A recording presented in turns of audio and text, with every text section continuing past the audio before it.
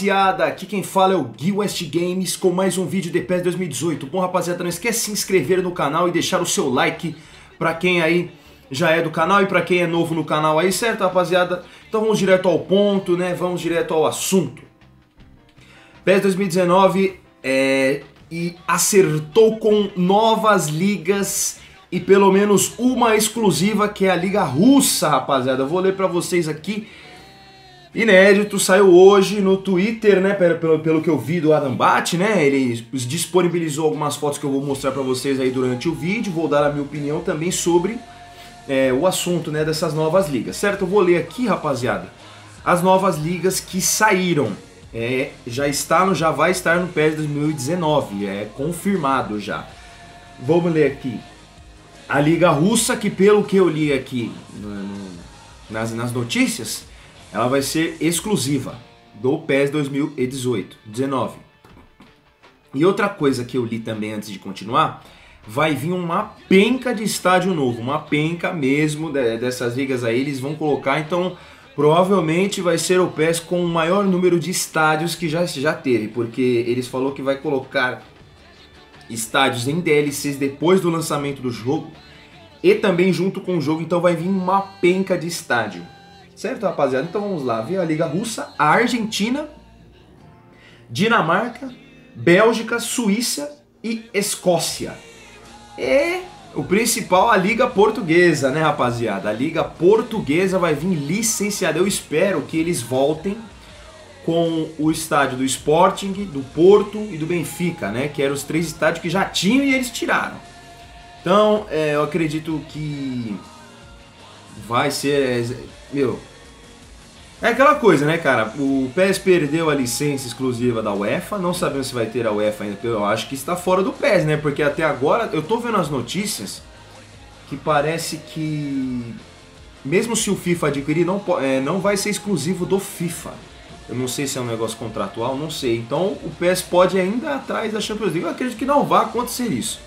Né? Apesar dessa desses acertos com as novas ligas. Parece que vai vir mais ligas ainda além disso. Essas são as confirmadas, né? Eu acho uma boa iniciativa. É... Eu acho uma boa iniciativa. Porque.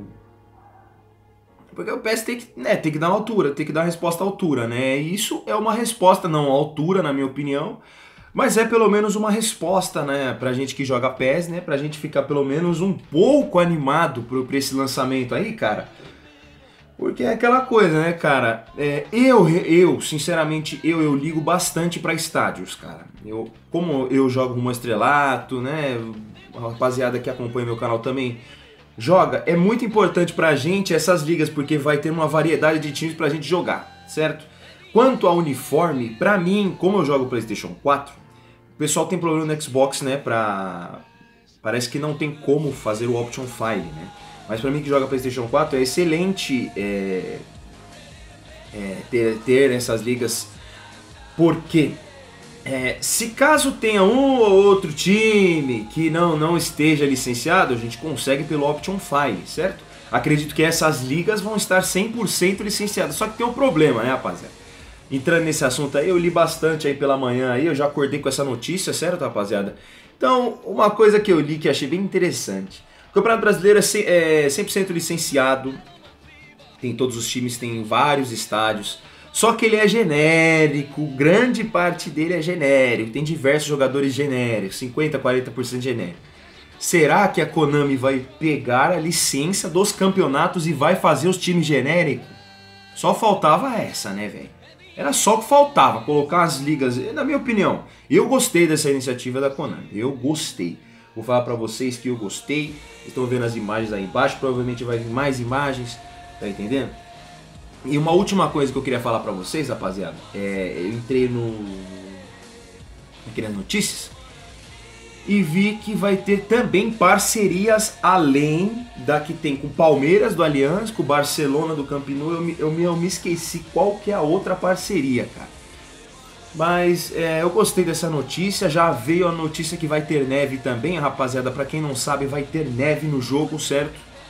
É, acredito que vocês já devem estar ligados aí nas notícias. É sempre bom aí estar ligado nas notícias, nos blogs, no site oficial da Konami, no Twitter desse Adambate aí, né? Mas é, concluindo, é, eu gostei bastante, cara, dessa notícia. Eu achei uma grande, uma grande sacada da Konami. Não foi pequena, foi uma grande. Não foi aquela sacada que a gente esperava. Mas como tá muito longe ainda do lançamento, vai lançar dia 30 de agosto, pelo que eu vi, 30 de agosto, por aí. É, cara, é uma iniciativa aí, é um ponto positivo na minha opinião, cara. Principalmente a Liga Portuguesa, que eu gosto pra caramba, eu tenho diversos aí inscritos no canal que são portugueses, né? Então vai ser uma uma grande honra ter essas ligas licenciadas no PES. Porém, ainda não sabemos, né, como vai estar a Master League, como vai estar o Rumo Estrelado, tem alguns boatos aí para vocês, mas eu não posso ficar falando aqui porque eu não, ainda não pesquisei o suficiente para dar minha opinião, certo, rapaziada? Bom, rapaziada, o vídeo hoje foi isso, rapaziada. Eu espero que vocês tenham gostado aí do vídeo. Não esquece de se inscrever no canal e deixar o seu like, rapaziada. Um abraço, falou!